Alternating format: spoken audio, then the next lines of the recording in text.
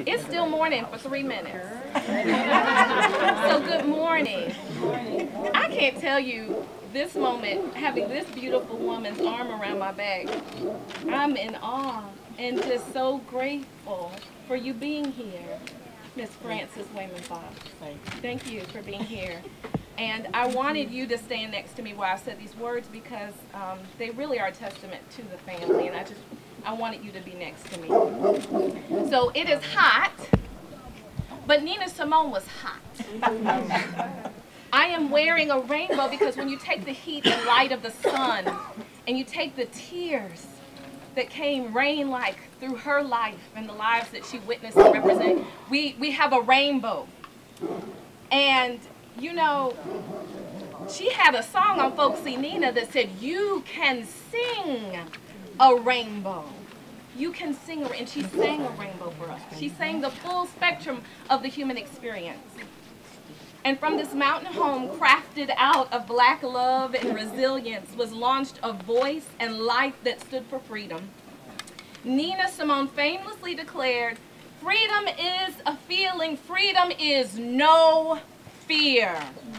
And on this Juneteenth day, I can't imagine a more relevant place, mm. space, legacy, life, voice, soul. Mm. Eunice Waymon, Nina Simone, we honor you. Yes. Your children are many. Your echoes are endless. I stand here today representing two divisions of the North Carolina Department of Natural and Cultural Resources. I stand here as the founding executive director of the North Carolina African American Heritage Commission and the first African American to serve as the director of our Division of State Historic Sites. I stand here in humble gratitude to the four artists who united to buy this home. Thank you, Adam. I stand here in humble gratitude for the National Trust who declares this a national treasure, appropriately so.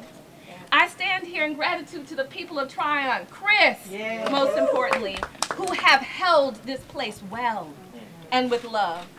More importantly, I stand here today because as a 14-year-old, I stumbled upon the televised interpretive dance of Miss Spellman as she moved lyrically and powerfully to Nina Simone's Four Women.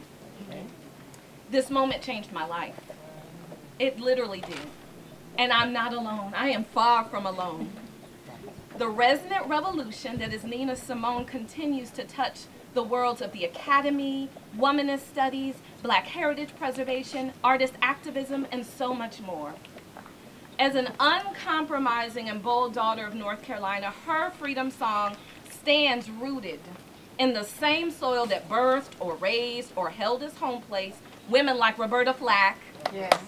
Ella Baker, yes. Maya Angelou, Harriet Jacobs, Dr. Charlotte Hawkins Brown, and Pauli Murray and countless named and unnamed souls who were held in human bondage at places like Stagville and Somerset and many other places across this land.